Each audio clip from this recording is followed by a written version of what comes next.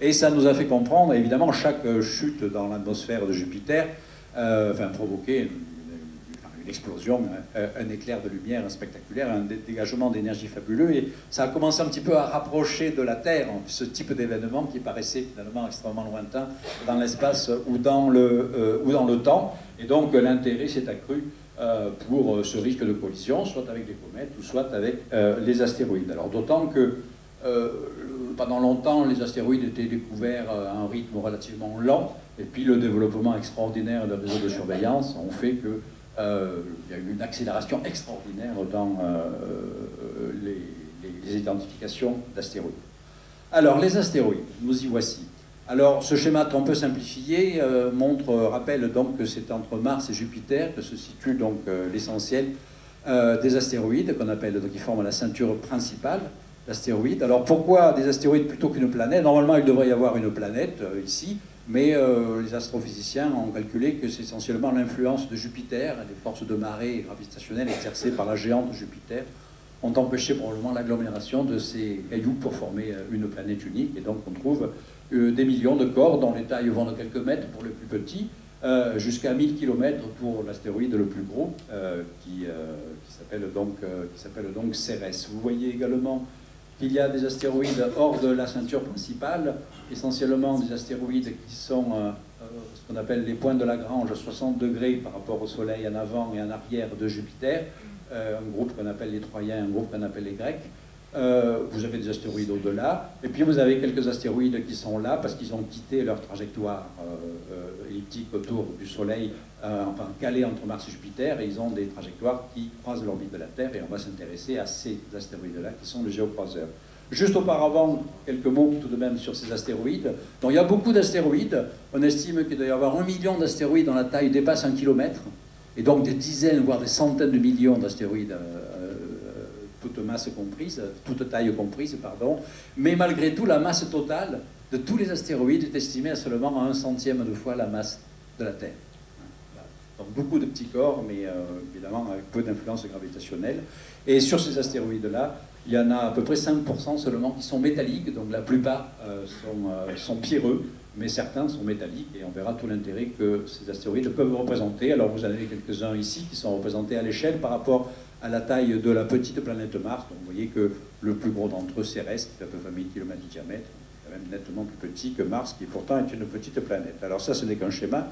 Vous savez que les astéroïdes commencent à être explorés de près euh, par des sondes spatiales. Donc voici quelques vues spectaculaires de quelques-uns de, des astéroïdes qui ont été euh, récemment photographiés, euh, explorés, et certains ont même reçu des visites de sondes spatiales qui se sont posées dessus. Pour l'anecdote, il y a un extravagant parce que euh, je ne suis pas le seul, mais bon, j'ai un astéroïde qui porte mon nom. Vous savez que la communauté des chercheurs qui découvrent les astéroïdes, euh, ne pouvant pas donner leur propre nom, euh, peuvent proposer des noms à, l'Union astronomique internationale. Et euh, donc en 1999, on m'a fait ce petit cadeau euh, honorifique euh, d'attribuer mon nom à l'astéroïde numéro 5523. Euh, j'ai regardé où il était, parce qu'il y a un site de la NASA où on peut suivre les trajectoires de tous les astéroïdes. Et donc le 12 février dernier, euh, bel et bien coincé entre Mars et Jupiter. Je ne présente aucun danger euh, pour la Terre. Voilà. Vu le numéro 5523, la date de découverte c'était 1991, c'est un astéroïde qui doit faire 15 km. Alors, on va voir maintenant l'accélération extraordinaire justement des, des, moyens de détection, puisqu'aujourd'hui, on en est à plusieurs millions, donc évidemment on leur donne plus de nom, ils ont des numéros de catalogue, euh, plusieurs millions, mais on découvre des astéroïdes de quelques mètres à peine. Euh, donc vous voyez cette accélération extraordinaire en 20 ans euh, des systèmes de détection. Comme vous le savez, je viens de vous le dire, certains euh, astéroïdes ont été visités euh, par, des sondes spatiales. Donc il y a eu un fameux rendez-vous entre la sonde NIR, NIR Earth Asteroid Rendez-vous en anglais, ça veut dire proche, comme vous le savez, avec l'astéroïde Eros en 2001. Et donc, euh, un engin américain s'est posé sur Eros le jour de la Saint-Valentin. Euh, une sonde euh, japonaise, Hayabusa, s'est posée sur l'astéroïde Itokawa en 2005 avec une mission plus ambitieuse de retour d'échantillons la mission a été très complexe. En fait, la, sonde a failli rester clouée euh, au sol. les ingénieurs ont eu beaucoup de mal à faire redémarrer les moteurs. Finalement, ils y sont parvenus et la sonde a réussi à ramasser à peine quelques microgrammes, mais c'est toujours ça. et la sonde est bel et bien revenue et la capsule a été récupérée et elle est en cours d'analyse. Euh, il y a également des noyaux de comètes euh, qui ont été euh, sondés, notamment par la mission qui s'appelait Deep Impact, où c'était le noyau de la comète Temple, qui a reçu en fait un impact, en fait c'est une petite animation ici, voilà, a reçu l'impact d'un percuteur, et, la sonde principale qui avait lancé le percuteur a commencé à faire quelques analyses à distance spectroscopique du matériau arraché à l'astéroïde comme vous le savez, il y a une mission spatiale en cours formidable qui s'appelle Rosetta, une mission de l'Agence spatiale européenne, qui a ciblé un noyau de comète pour 2015 sur lequel elle va se poser.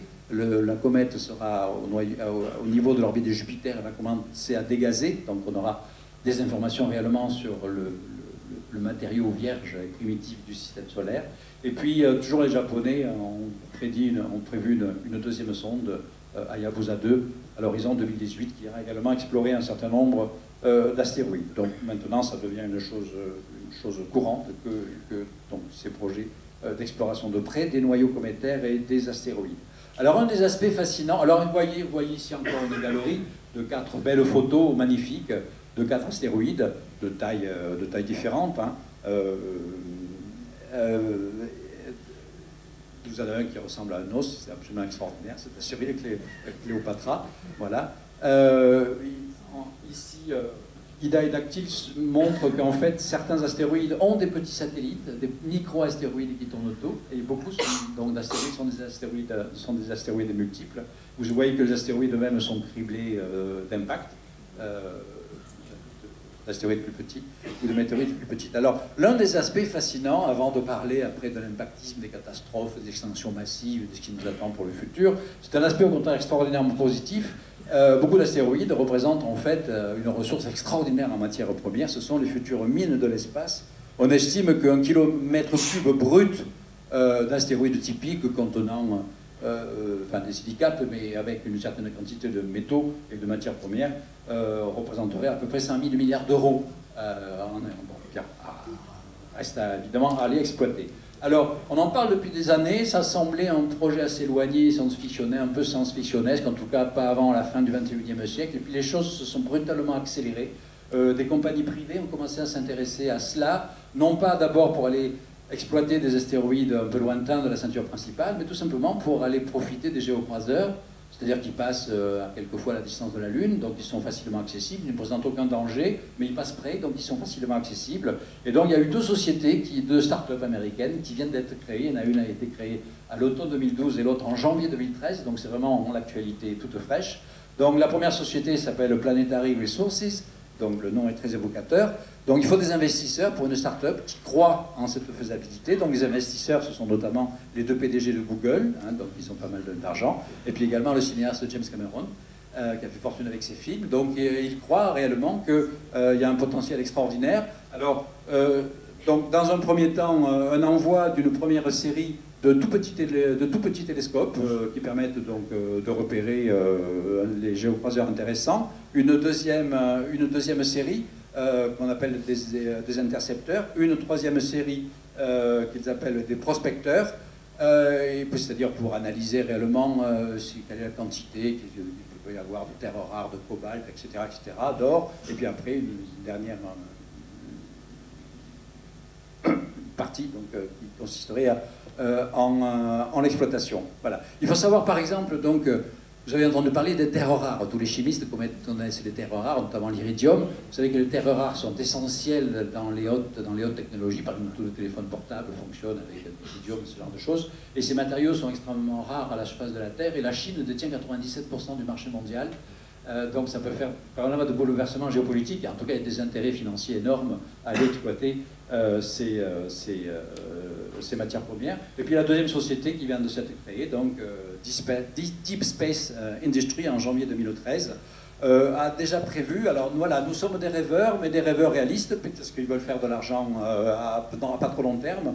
Donc, ils projettent déjà à l'horizon 2016, ce qui paraît quand même extrêmement court, de commencer à envoyer des petites sondes qui s'appellent des Dragonfly, qui seraient des petites sondes de, de, 32 kg, puis quelques années plus tard, de commencer à ramasser des échantillons de, quelques dizaines de kilogrammes euh, sur une échelle de 2 à 4 ans, euh, pour commencer à ramener effectivement des choses, euh, des minerais sur Terre. Et puis à terme, ce qu'ils appellent des extracteurs de fuel. Alors ça, ce sont vraiment des vues d'artistes que l'on peut trouver sur le site web de la société. Je vous invite à, aller visiter ce, terme. Et puis finalement, ce qu'ils appellent les moissonneuses. Alors là, on est plus un peu dans la science-fiction, mais pourquoi pas, où on a réellement un processus d'extraction minière entièrement automatisé de ces, de ces astéroïdes-là. Voilà.